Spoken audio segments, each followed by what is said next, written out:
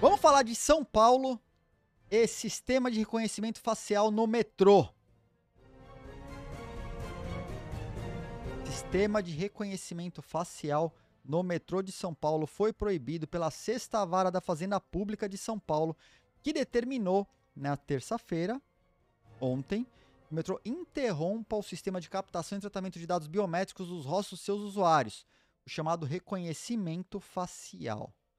Cara, o metrô está se defendendo, dizendo que eles não faz, fazem o armazenamento de dados é, biométricos. Mas o sistema que o, que o metrô gastou 50 milhões de reais para implementar permite a captura e leitura biométrica da face de todo mundo que passa pelo metrô. Essa decisão, ela não, é, ela, ela não faz com que o metrô desinstale os sistemas ou que pare de instalá-lo. O metrô pode continuar instalando, ele só não pode fazer a captura. Bizarro isso, né? Vamos combinar? Bizarro. Bizarro, né? E, bom, dizem que fere LGPD, que fere uma porrada de coisa na lei e tal. O que a gente sabe, o que a gente sabe é que, cara, se você vai passar na catraca e tem uma câmera, pô, a câmera vai capturar seu rosto. Né? Ela vai capturar seu rosto. E aí é uma, porra, tá entregando para uma empresa terceira por onde você passou, onde você estava de todo mundo. De todo mundo. Aí sabe o que a gente, o que vai acontecer? Essa base vai ser vazada. Alguém tem dúvida? Alguém tem dúvida que a base de imagens, a base de dados biométricos dos, do metrô vai ser vazada? Alguém, alguém acha que eles têm condições que, que alguém do governo alguma agência, instituição, alguma coisa relacionada ao governo tem, tem, tem meios de salvaguardar essa informação de maneira segura, é óbvio que vai ser vazado. Se a gente está falando em governo e vazamento de dados, é quase que sinônimo. É quase que sinônimo. Vai ser vazado. Aí, cara, você tem seus dados biométricos vazados. Ó, pra te autenticar em outros lugares é um 2. Não é? É um 2, cara. É um 2. Vai ser vazado. Aí a justiça tá pedindo que comprove que eles têm as condições de, de guardar as informações e, e que vai ser seguro e que não sei o quê e que demonstrasse relatório, como que funciona a implementação, mecanismo. É, cara. Pô, cara, o dado vai ser usado de forma indevida pelo governo. No, número um, premissa número um. O dado vai ser usado de forma indevida pelo governo. Premissa 2. Os dados serão vazados. E aí, aí, Cadu, onde eu queria chegar? Cara, vai chegar o ponto em que a recomendação para a população é: você vai no metrô, usa máscara. Você vai passar na catraca, usa máscara. Usa máscara, cara. Usa máscara. Que é inacreditável. Isso aqui é um pulo, é um estalo de dedos para o monitoramento massivo da população. É um estalar de dedos. É um pulo. Então fiquem avisados. Ô, Bira, não é se tiver essa parada. Essa parada está sendo instalada. Ela está em funcionamento. O que aconteceu agora é que a justiça mandou ela parar de guardar dados. Parar de coletar. Alguns países têm deu muita treta. Em, em, em UK, lá no Reino Unido, Mano, eu, eu mostrei, acho que foi aqui na live que eu mostrei, inclusive, ou mostrei numa live, ou mostrei em algum lugar. O cara tava. A polícia parou o cara, porque na hora de passar pela câmera, o cara cobriu o rosto com uma touca. Eu falei, não, cara, eu tô, eu tô com frio, eu quero usar touca. E aí? A polícia parou, por que você tá usando touca? Foi nessa pegada, aconteceu no Reino Unido. Deu uma treta isso aí. A polícia queria que o cara expusesse a face na câmera. Depois deu uma briga lá no Reino Unido, eu acho que o sistema foi desabilitado. Lá, se eu pouco me engano, não tenho certeza. Cara, é muito, muito absurdo. É muito absurdo. Não faz sentido. E aí, a justiça parou que parasse. Mandou com que parasse. Dados de criança. E todo mundo, cara. Fora. Vamos, vamos agora para a segunda parte. A coleta de dados biométricos sem a sua autorização já é absurda por si só. Ponto. Limitar o seu direito à movimentação, ao transporte. Se, numa, se, não, se você não, se não capturarem seus dados biométricos, é um absurdo sem tamanho. Segundo, existe uma questãozinha aí que todos os sistemas de validação biométrica é, facial não reconhecem grandes, grande parte da população de pele negra. Não reconhece, não identifica. Mistura todas as bolas. Tá? E pessoas é, de muita idade também confunde. Só, só isso. E as pessoas trans? Também. Olha o caos. Cara, é a receita para dar errado. É a receita para dar errado. Mamba Trade, valeu aí pelos seis meses, viu? É, passou batido aquela hora lá, mas briga... sete meses, na verdade. Obrigado pelos sete meses, Mamba. Tamo junto.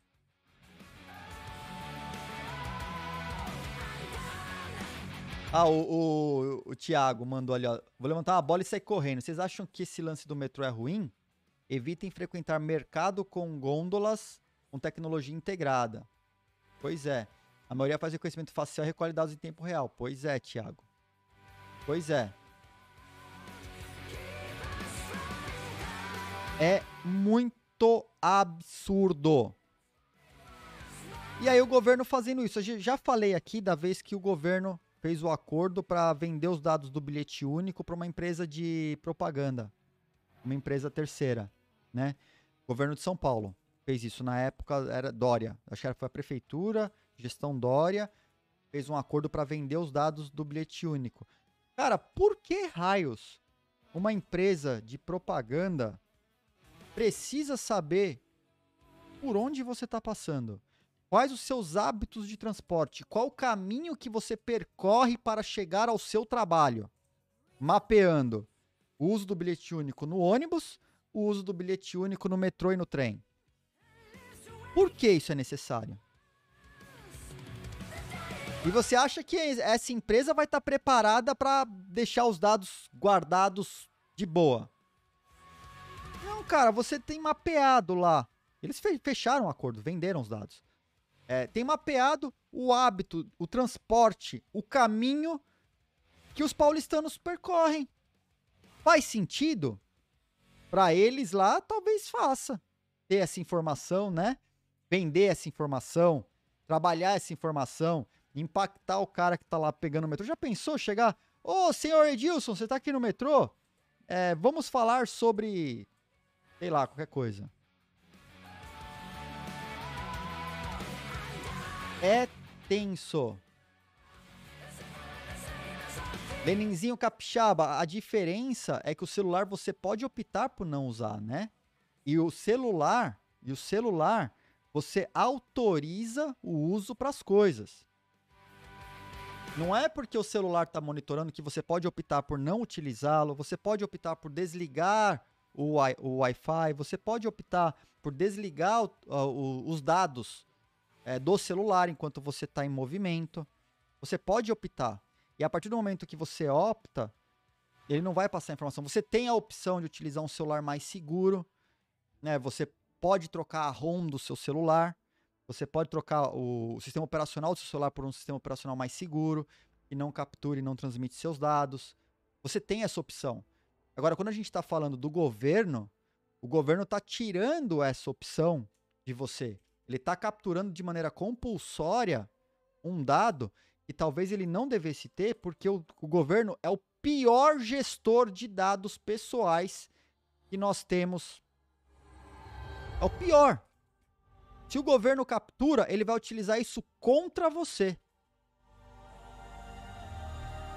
Eu me protejo os meus dispositivos. Eu me protejo, né? A gente já viu aqui, viu várias vezes na live diversas maneiras de você se proteger. As pessoas não sabem fazer por falta de informação, mas é uma coisa que com informação a pessoa pode passar a se precaver. Por isso que a gente, a gente tem que tentar se manter informado e utilizar todas as ferramentas possíveis e imagináveis para preservar o nosso dado pessoal. Um dos grandes focos aqui dessa live é sempre falar para as pessoas da importância de não abrir mão dos seus dados pessoais. Porque não existe, você abrir mão do seu dado pessoal não é de graça. Facebook e Cambridge Analytica estão aí para provar que os, a, a forma como a gente se relaciona nas redes sociais é utilizado contra a gente para manipular a nossa opinião perante ao voto. Cambridge Analytica provou isso para todo mundo, né? É, o Google, porra, cara, falar o Google controle de informação, tá tudo com eles. Que você permitiu, né? Que você permitiu. Então a gente tem que, a gente tem pelo menos um dos papéis dessa live, um dos, um dos papéis é conscientizar as pessoas, tá? Pra gente discutir sobre isso. Pra gente tendo conhecimento sobre esse tipo de atitude do governo, a gente passar essa informação adiante para as pessoas. Né? Olha lá, o chovel mesmo, né? O que eu já aprendi aqui na live sobre os cookies, localização do app estando fechado, dados e senhas nos browsers, uh, não permitir que os apps acessem os dados pessoais permanentemente sem, sem necessidade. A gente vai, cara, a gente sempre vai pincelando essas coisas aqui na live para que as pessoas criem esse, essa consciência de que é possível. Noven concordo contigo. 99% das, cento das pessoas não sabem. E elas não sabem por quê? Porque as grandes corporações, Facebook, Google, Amazon, Oracle, todos eles, eles querem capturar. A Apple querem capturar suas informações. Microsoft querem capturar suas informações. É do interesse deles capturar o máximo de informação possível sua para transformar essa informação e vender e fazer dinheiro. E vão fazer dinheiro com uma informação que muitas vezes vai te prejudicar. Vou dar um exemplo: Cambridge Analytica. Cambridge Analytica. Vou pegar uma pauta super aqui, cara, aqui, que dá treta. É, uso de armas. Uso de armas. É, posse de armas.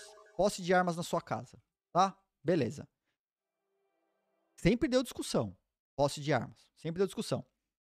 Se ele sabe que você mora no interior, a propaganda que vai chegar para você é de que vão invadir o seu terreno e você precisa de uma arma para se proteger. Por quê? Você vai começar a ser impactado, inclusive, com notícias ao redor de onde você vive, porque eles sabem onde você vive exatamente. Primeiro começam as notícias das invasões de propriedade privada. Depois, as pessoas que tinham armas e se protegeram não foram invadidas. E depois, vão criar esse sentimento de medo em você para passar essa, informa essa pauta. E aí, o candidato é um candidato que promete liberar ou facilitar o acesso à arma para que você possa proteger a sua casa. Então, isso foi vendido para quem está no campo. Para quem está na cidade, é o, o, que, o que se vende é o fato da pessoa ser assaltada, é o fato da pessoa estar tá parada no, no semáforo e irem roubar o carro dela quebrando o vidro do carro, e se a pessoa tivesse armada, de repente poderia se proteger. É a invasão da casa da pessoa, sua propriedade privada dentro da cidade. Então, Esses caras que têm informação demais, eles conseguem moldar a informação de maneira que ela maximize os seus medos, e aí é muito mais fácil passar a pauta, por exemplo, de uh, porte de armas para todos. Eu não sou contra o, o, o porte de armas, muito pelo contrário, eu sou extremamente a favor. Eu luto pelo direito de que as pessoas queiram ter suas próprias armas, elas possam ter. Mas também luto para que as pessoas que não devem ter, não têm condições de ter uma arma, que não tenham, né? Eu, eu sou a favor, não tenho nada, absolutamente nada contra a posse de arma. Nada contra, tá? Deixo claro aqui. Mas a, a forma como eles, a partir do momento que eles passam a te conhecer melhor, a conhecer as pessoas com quem você se relaciona, esse trabalho, ele é feito extremamente direcionado para mudar a opinião das pessoas que estão à sua volta, mudar a sua opinião, porque eles já têm muita informação sua. Esse que é o ponto. Tá? Esse que é o ponto. E o grande lance é que a gente tem meios, tendo conhecimento de que a nossa informação vai ser utilizada para manipular a nossa opinião perante a sociedade, perante as coisas que acontecem no mundo, a gente tem meios de começar a se proteger disso. E esse é um, é um dos papéis dessa live. Ó, o Lenizinho até mandou lá, não tô falando que tá certo fazer, tô falando que é impossível hoje em dia a maioria das pessoas se proteger. Quem acha o controle tem outra realidade. Não, cara. É possível sim. É possível. É possível, é possível você diminuir e até desaparecer para o governo. É fácil? Não é fácil. A maioria das pessoas nem sabe mandar um e-mail, usa um WhatsApp, olha lá. Não só o governo, mas quem faz isso com maestria, como você mesmo disse, são as empresas Facebook. É possível. A gente viu aqui esses dias na live de um cara que conseguiu desaparecer pro governo americano. Pro governo americano, cara. O cara até pagou advogados para ter certeza que o, a, o processo que ele estava fazendo estava sendo efetivo. Então é possível. Possível é. Mas dá trabalho. É por isso que esse mesmo tipo de trabalho que a pessoa tem para usar criptografia, para tentar deixar o menos de migalhas espalhadas por aí para o governo fazer uso, ou as empresas fazerem uso, esse mesmo tipo de trabalho é o trabalho que as pessoas têm de usar o Bitcoin ou de ter a conta no banco.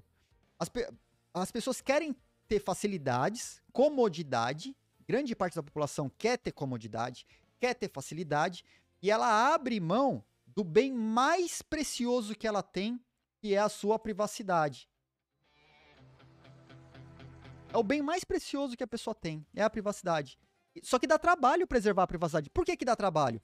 Justamente porque eles criam diversas comodidades que vão te extrair esse monte de informações e você vai falar, ai, cara, deixa, deixa lá. É que, ah, deixa com o dinheiro no, banco, porque com o banco é mais fácil, mesmo pagando aquela taxa absurda pro banco. Ah, usa o Facebook, Google, tudo habilitado e beleza, é, eles estão capturando, estão te dando um monte de serviço bacana de graça, mas, cara, você você tá perdendo uma coisa extremamente preciosa e que num futuro próximo, num futuro próximo, é o que eu sempre digo aqui, o Bitcoin não tem para eu não olho para preço do Bitcoin, mas eu olho para valor. E talvez esses satoshizinhos que a gente sorteia diariamente aqui na live vão ser a grande diferença entre a sua liberdade no futuro e, e, e o seu aprisionamento pelo governo. Né?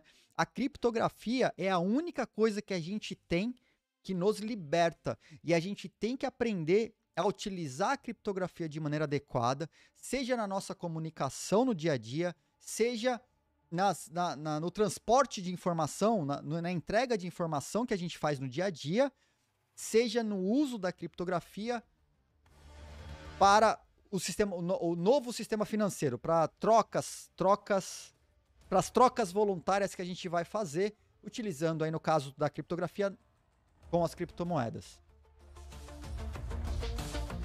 Jovel mandou Ed, como você vai separar as que devem e das que não devem ter?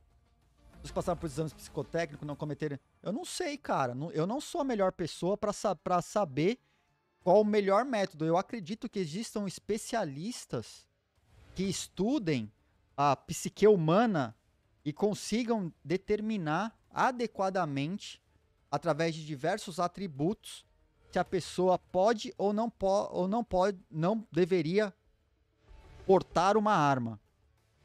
Eu não, eu não sei nem quais os métodos. Se eu falar alguma coisa aqui, eu vou ser um, um irresponsável, egoístico, só por falar por falar. Eu posso ter ideias, mas como eu não sou um cientista nessa área, e acredito que existam cientistas que estejam estudando isso seriamente o tempo todo, eles conseguem mapear se um cara pode ou não pode devido a diversos atributos. Não vai ser um, vai ser um conjunto de atributos aí que vai dizer se a pessoa pode ou não pode. Eu, qualquer coisa que eu falar aqui, eu vou ser muito irresponsável nesse, nesse, nesse negócio. Né? Pois é, cara.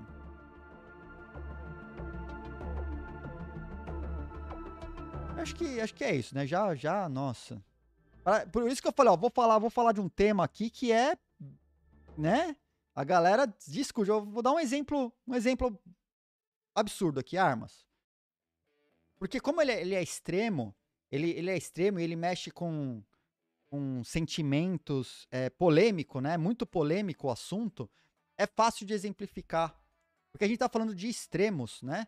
Então esse uso aí é, esse uso, o, o, acesso às armas, a facilitação do acesso às armas é um, é um tema tão polêmico que é fácil utilizar ele para exemplificar situações absurdas como essa que a, a Cambridge Analytica promoveu. Re, é real, isso não é brincadeira não. Isso aconteceu durante eleições com o uso dos dados da Cambridge Analytica. Tá? Por causa do, do Facebook. É fatão isso aí. Então, assim, é tenso, cara.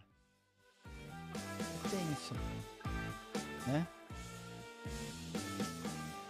Ou o Tuco abriu uma votação na DAO para ter uma live sobre OpenGPG. Bacana, bacana. Aliás, temas que vocês têm interesse é, de serem revisados aqui na live, a DAO tá lá para isso, viu? A DAO tá lá para isso. Entra lá na DAO e vota lá na DAO. Exclamação DAO no chat. Exclamação DAO no chat e vão lá votar ou colocar as pautas para votação que vocês gostariam de ver. Tá? Eu vi sim, Chovel. Eu vi sim. Eu acho que não deveria ser um negócio automático. Eu acho que não faz sentido ser automático. Cada, cada ser humaninho é um ser humaninho diferente. Cada ser humaninho é um ser humaninho diferente com diversas questões que ele passa durante a vida, com diversas experiências diferentes, com, com sei lá, criações diferentes, educações diferentes. Não é um negócio automático. Assim, ah, o cara, o cara, o cara trabalha com tal coisa, é, já é. É o cara, sei lá. Não sei, eu acho que cada caso é um caso.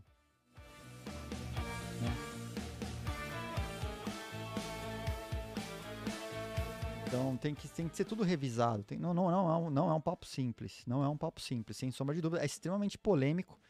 As pessoas têm opiniões distintas. É, eu tenho a minha opinião sobre isso, já falei aqui. Mas é um tema que não é fácil, não, cara. Não é fácil. Não é fácil. Não é só uma canetada que resolve. É muito complexo. Não é só uma canetada que resolve. Bom, por causa disso, olha só, consegui trazer a treta, né? Momento treta. Vocês acharam que a treta ia acabar agora? Não, isso aqui foi só o pano de fundo, foi só o aquecimento para eu chegar na treta principal. Vocês acham que eu, ah, eu monto uma pauta? Eu monto uma pauta. O Morning Crypto tem pauta preparada. Porra.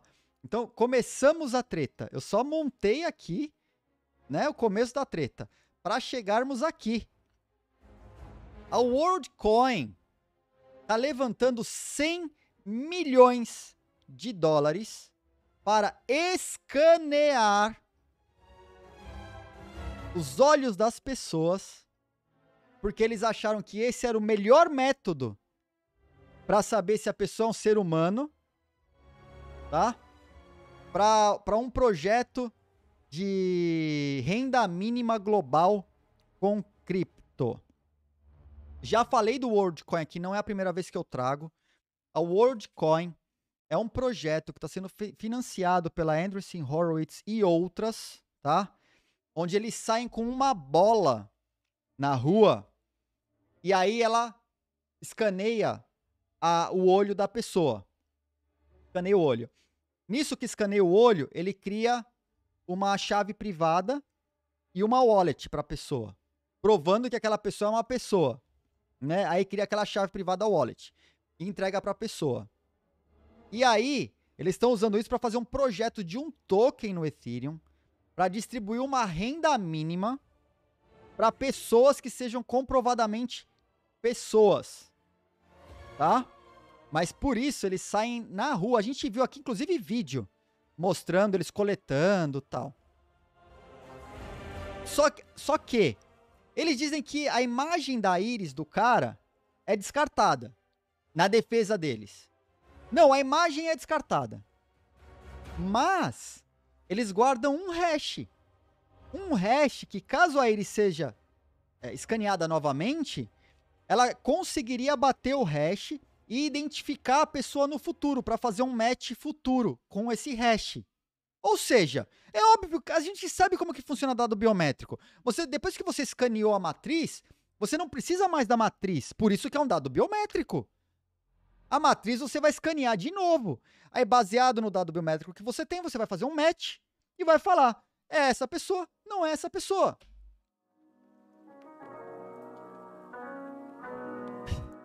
Uma empresa, uma startup, já vinha de conversa aí, já tinha feito, feito um Series A com a Anderson Horowitz. E agora acaba de levantar mais 100 milhões de dólares. Foi um valuation de 3 bi. E continu, para continuar pela rua coletando dados biométricos das pessoas com o mote de criar uma wallet para a pessoa, baseada na, no dado biométrico dela, e para um projeto de renda mínima global utilizando criptomoedas. Cara, nesse universo do Ethereum, a gente sabe como que funciona. É muito fácil você fazer uma renda mínima ficar criando moeda do nada, né? Não é fácil fazer isso. No Ethereum ainda, não é fácil. Cara, é, tá tudo errado nesse projeto. Tá tudo errado nesse projeto. Tá aí o QR Code para vocês, tá? É o QR Code. Então, a gente tá falando, no metrô de São Paulo, estão coletando o dado biométrico da sua face. Em UK estavam fazendo isso na rua. Tem uns maluquinhos de startup andando com um orb na rua pedindo, pedindo para você dar uma olhadinha dentro do, do, do buraco lá do orbe. é, você põe o orbe, no, você deu uma olhadinha lá, escaneou sua, escaneou seu olho, cara. Pra te dar dinheiro. E aí? A população falou, oh, você vai ganhar dinheiro. É só, só dá uma olhadinha aqui. Dá uma olhadinha aqui que você vai ganhar um dinheirinho. Mano, eles estão oh, escanearam já centenas de milhares de pessoas. Eu não lembro quanto número, 450 mil pessoas. Olha lá, em 20 países, cara, já escanearam 450 mil pessoas em 20 países.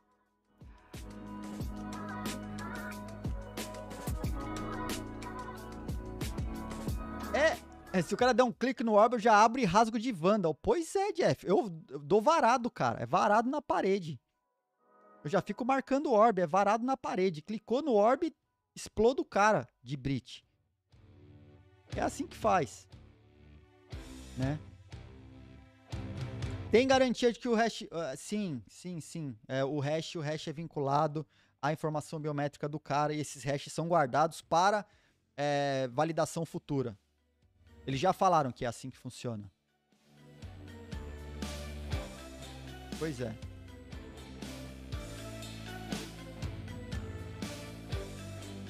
Ah, o Jeff tá falando sobre, sobre o renda mínima, né? É.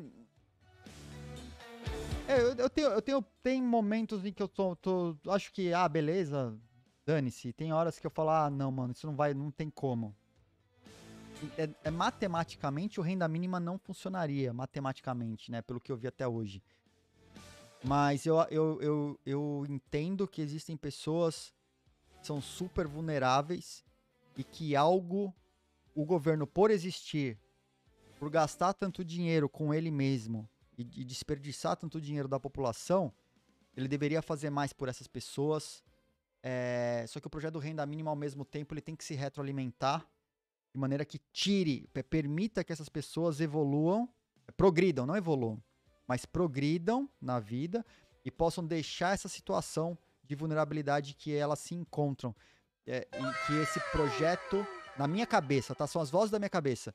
Bom e que dia, qualquer galera. projeto desse não, não, não fosse permanente, mas que fosse um caminho para que as pessoas. É, que, para que esse momento de vulnerabilidade se tornasse passageiro. Essa é a minha visão sobre o negócio.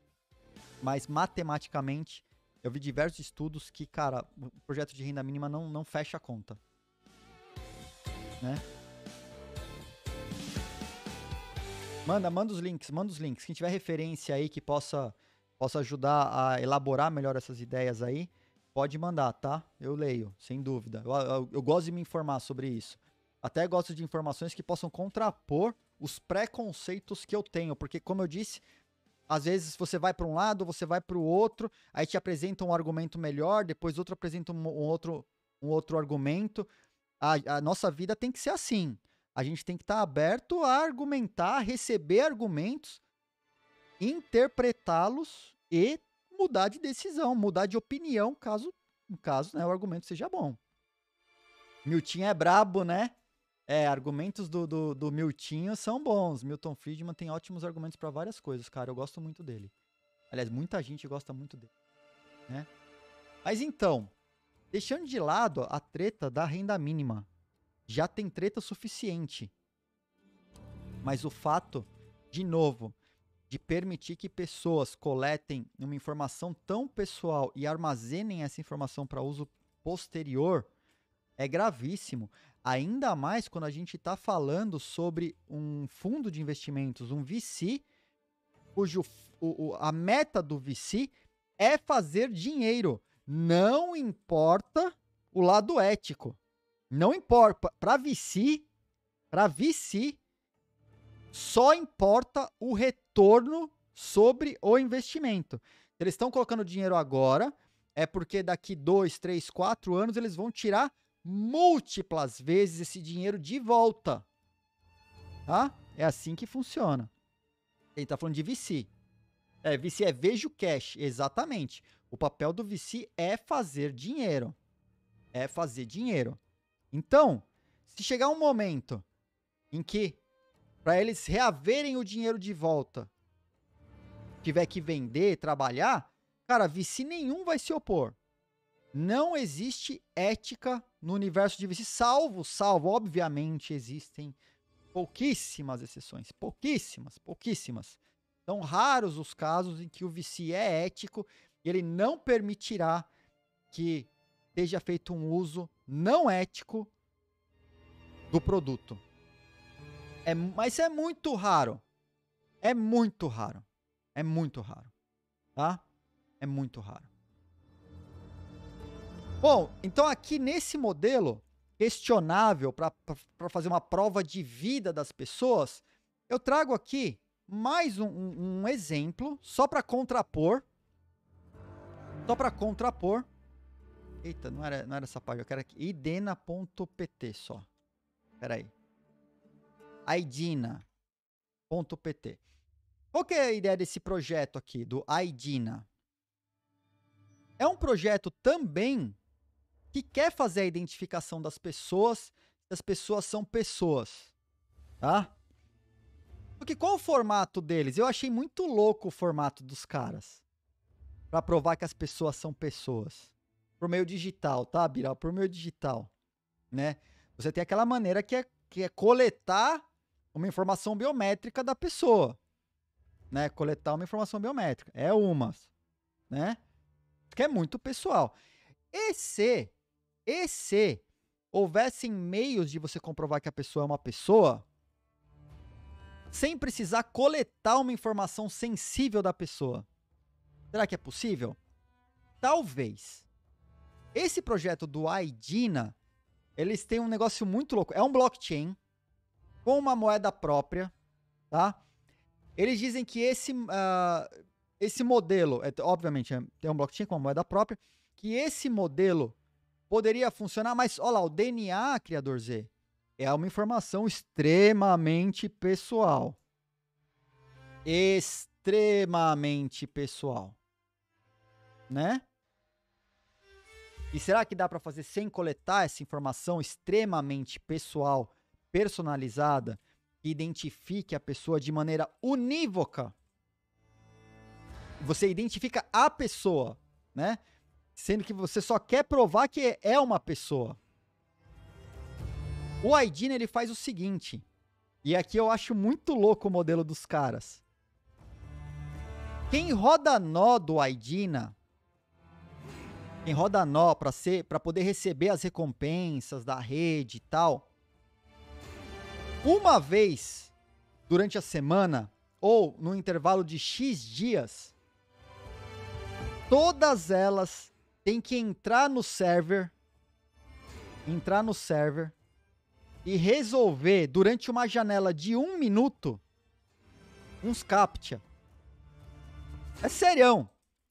Vê se não faz sentido Vê se não faz sentido.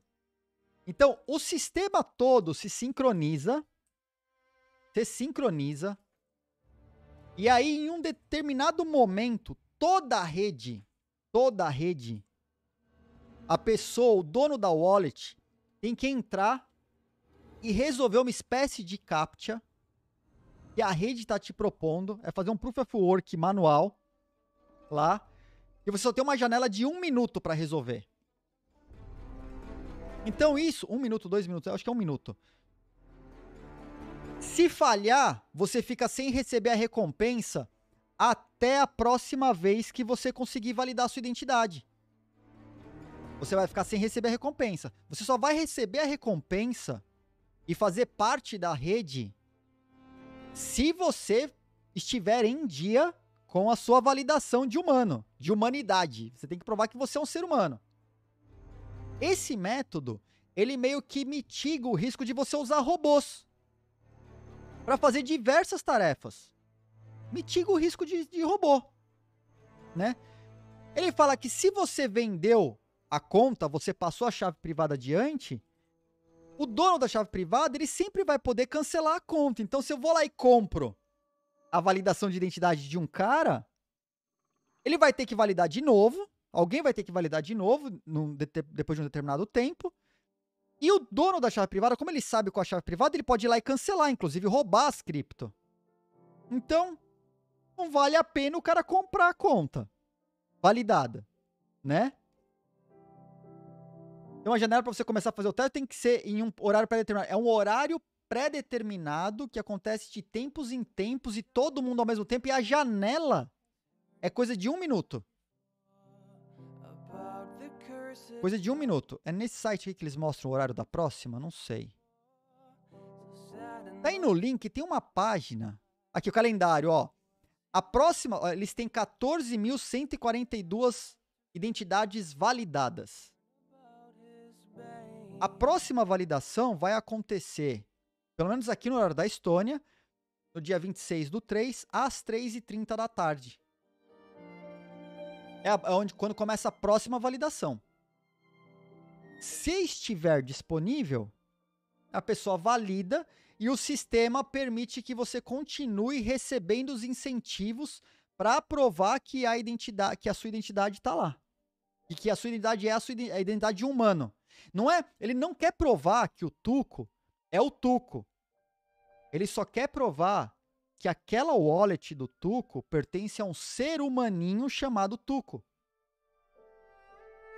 Percebe a diferença entre validação de identidade? Se a questão toda é: existem meios E as pessoas estão fazendo experimentação em diversas técnicas diferentes para provar que quem está por trás daquela chave privada não é um robô, daquela chave, daquela wallet, daquele endereço, é um ser humano e não um robô. Por quê? Vamos supor que a distribuição de renda mínima funcione por meio cripto. Você poderia fazer essa distribuição de renda para pessoas de verdade, sem o risco que se utilizassem de robôs para provar a identidade das pessoas. É muito legal. Assim, não sei se o Aidina é, é, é o melhor modelo, mas é um dos modelos.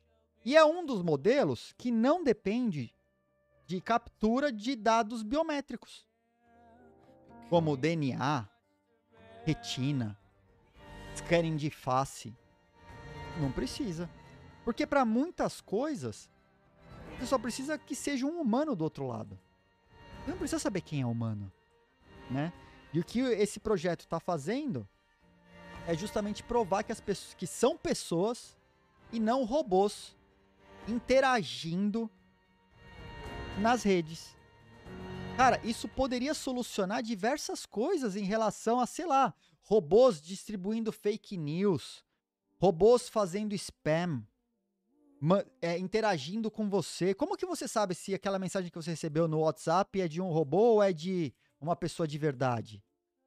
É muito difícil você saber, né?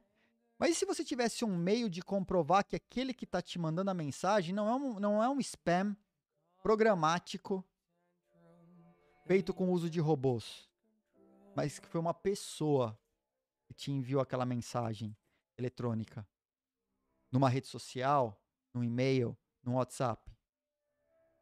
Isso é muito importante. Você tem uma prova criptográfica de que é um ser humano interagindo com a rede e não um robô. Legal isso aqui, cara. Legal, isso aqui foi justamente para dar uma amenizada na treta que estava vindo até agora. Né? Ah, é câmera coletando é, dados biométricos da face.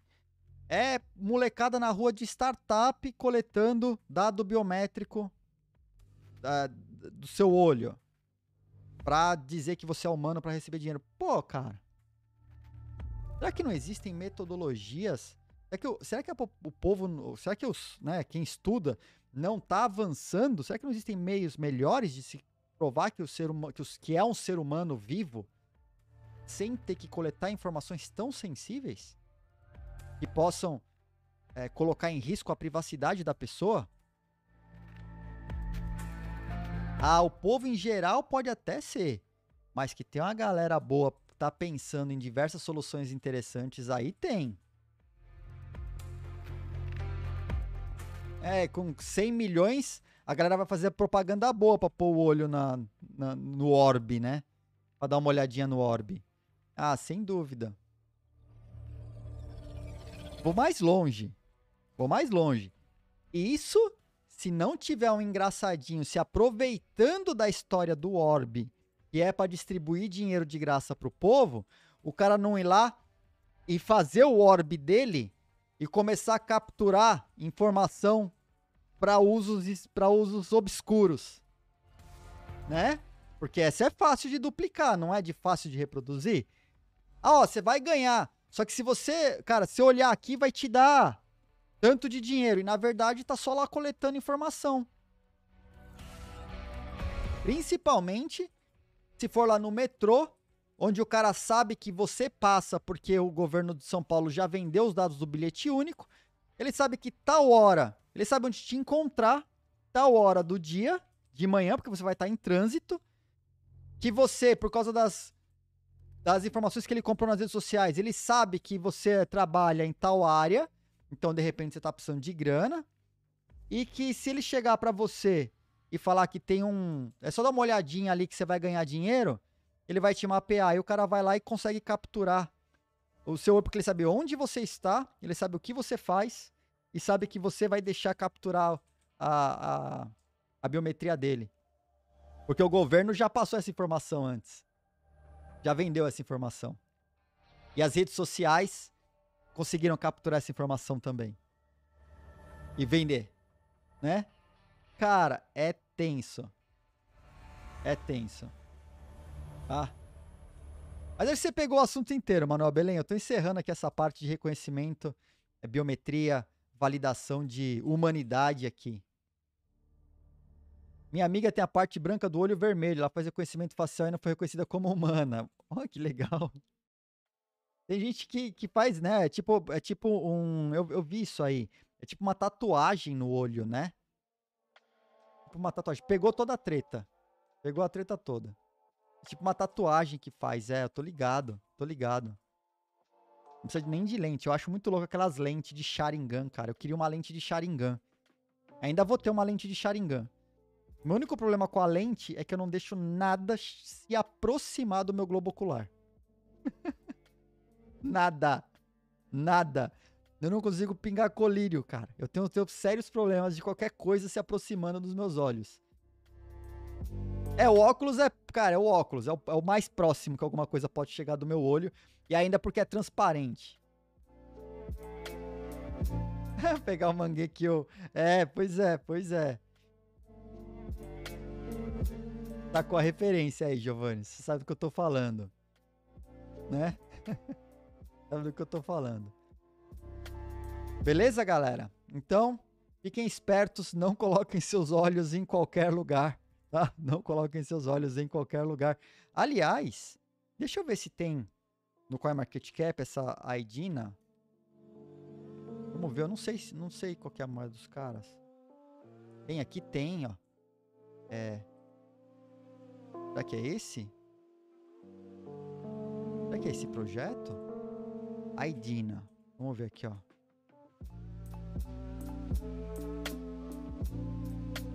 Vamos ver se é esse mesmo. É esse mesmo, é esse mesmo. É esse mesmo. Vamos ver que pé que tá a moeda dos caras. Menos 0,94 aí. Vamos pôr ela nas apostas? Vamos abrir as apostas aí do Aidina? Ó, cara, olha só. Os caras falam lá de World Coin, aí vão os caras e pampam né? É pampa, não, é não dá nem pra dizer que é um pump, né? Não dá muito pra dizer que é um pump. Acho que para esses caras aqui, cada vez que falarem de WorldCoin é capaz de se troço pampar. Pelo menos ela não é intrusiva, né? Vou, vou, vou, vou abrir aqui da Aidina para amanhã. Aidina, estará positiva ou negativa amanhã? Vamos de Aidina. Será que a gente viu essa aqui hoje? Ó, já tá no chat, ó. A variação da AIDIN estará positiva ou negativa no próximo programa. Bom dia, Maia Maeda. Oi, Ed, você acha que precisa fechar a cam mesmo que desligada? Putz, cara, eu fecho. E a minha câmera tem tampa, e é uma tampa super chata, e todo dia eu tô xingando. O meu notebook tem a câmera fechada, o notebook da Miriam tem a câmera fechada, é, e eu uso tampa, e a tampa da minha câmera é desse tamanho. É um baita de um saco. Todo dia para colocar e para tirar a tampa eu reclamo. Sim, eu sou do tipo que fecha todas as câmeras possíveis. O tempo todo. É, o webcam vem com tampa agora. Eu fiquei felizaço de ter tampa aqui. Nessa, nessa câmera. É mó tampona. Mó tampona. Né? Então, assim, eu, eu, eu fecho, Tomes. Eu fecho e não me arrependo, não, cara. Mas é que eu sou paranoico, né? Eu sou mega paranoico, cara.